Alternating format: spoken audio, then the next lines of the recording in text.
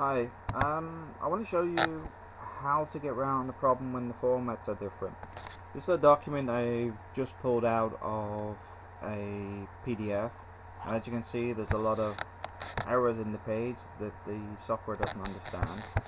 Um, but I need to clean up this document, but I only need specific bits of information out of it.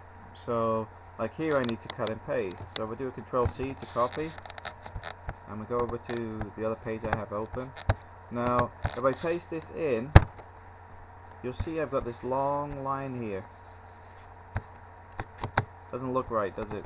I can't it doesn't keep it in with the rest of the columns. So what we do is we go to this little menu down here and we just want to keep the values and numbers of formatting. What that does is it puts it just the bit of information that you need instead of all this extra data that's been dragged across that is uh, pretty useless.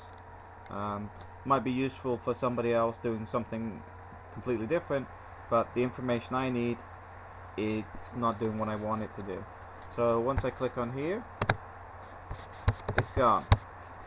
And that's a quick way of getting your uh, columns correct or or your data into an existing template um, which you're dragging across from other documents.